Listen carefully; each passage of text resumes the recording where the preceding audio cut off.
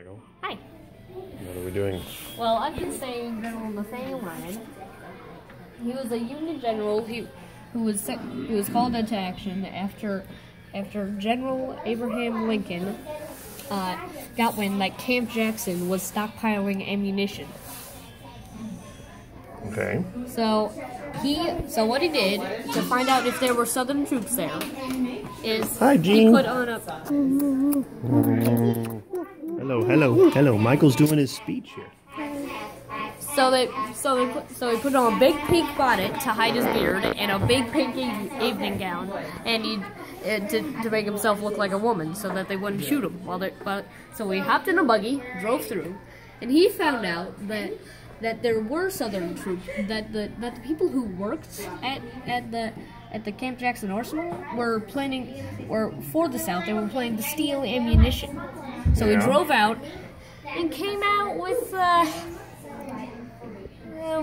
nobody, we nobody, we couldn't find anything that's the exact number, but we guessed about fifteen hundred soldiers against Frost only seven hundred and fifty. However, they all told us that he had exactly seven hundred and fifty, but they never told us how much Lyon brought back. I see. I'd wait. Okay, anyway, Yeah? so after that, so he came back, and this happened up here in, on May tenth, eighteen sixty-one. Mm-hmm. So, so he was so, and that was they. They didn't really shoot any shots. I mean, after after Frost, who was the general commanding the uh, arsenal, Uh-huh. saw how many soldiers there were, he just surrendered. Like I see. it was barely a battle. So that was his first battle. The next big thing that he did really got Missouri started in the in the war.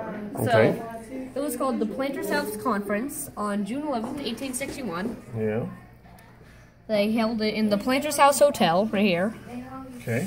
So so he was asking Governor Jackson, who was the governor of Missouri at the time, Yeah. he was he was a very southern person. Okay. Uh, he was hoping he was he was asking if Union troops could could go through Missouri undisturbed, Okay. being not killed, Like, basically. let me just pass through here kind of thing? Yeah. Yeah?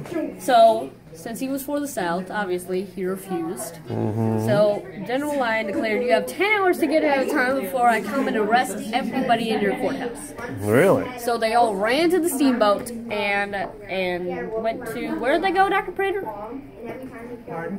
But after they ran to the steamboat, where were they going? Oh, they went to uh, well, they went to Jeff City first. And then they abandoned the capital because Lyon was fresh on their tails. And in fact, he took over the capital. Oh, yeah? And then they went to Boonville. Remember they had the Boonville races?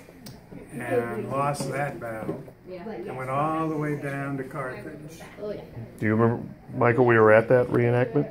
Oh yes, yes we We went to the 150th anniversary of that. I tried to go and it was so, the traffic was so bad. It was a little crazy. I didn't get there. There's been several of them out there, but we got there very early.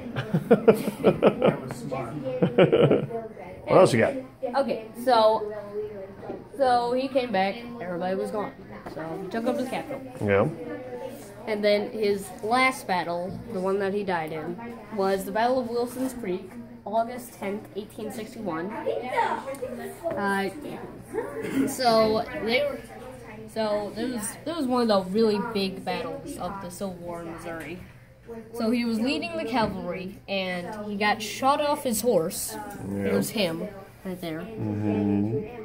And after that, and after that, they accidentally left his remains at the battlefield. Whoops. So then, so then they came back for him uh, after a month, week, two, anyway. Uh huh. So they came back, and did we ever find out where he was buried? Uh, They moved his body right twice. there. Moved his body twice. He had a, that body was a comedy of errors. Yeah. Whoops. So But he was the first general to die in the Civil War, yes, he huh? was. Wow. So here's a here's a picture of I guess one of his rooms apparently. One of his graves. One of his graves. I moved twice. Gotcha. What is this sword here? Oh, this sword. I tried to replicate his sword. Right Try to mimic that sword, yeah? Yeah. Uh, I think I got pretty close. That is pretty close.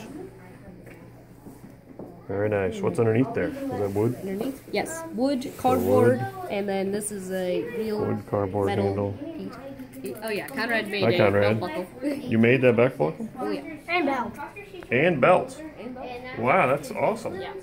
Sweet. If you compare it to the actual belt buckle, it looks ex- almost exactly the same. Very cool. Anything else? Uh, well, no, I've basically told you everything that I really covered. All the That's big great. main battles.